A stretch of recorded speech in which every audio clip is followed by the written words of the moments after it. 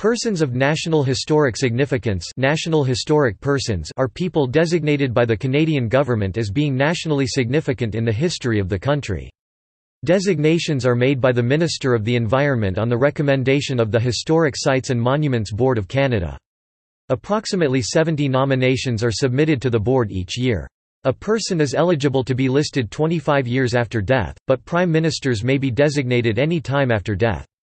Parks Canada administers the program, and installs and maintains the federal plaques commonly erected to commemorate each person, usually placed at a site closely associated with them.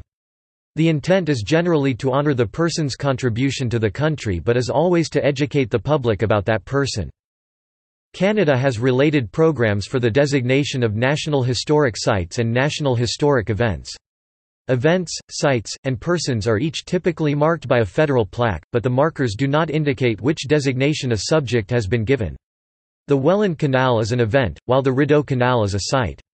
The Keranen plaque to John Macdonald does not refer to a National Historic Person, but is erected because his home, Glengarry House, is a National Historic Site. Similarly, the plaque to John Guy officially marks not a person, but an event—the landing of John Guy.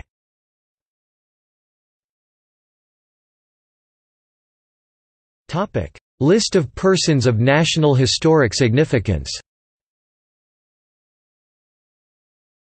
As of October 2018 this list contains 711 entries.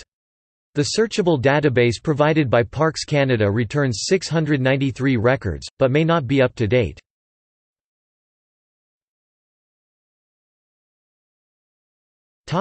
See also Canada, A People's History. Fathers of Confederation. Heritage Minutes. List of National Historic Sites of Canada. List of Canadian Victoria Cross recipients. List of Companions of the Order of Canada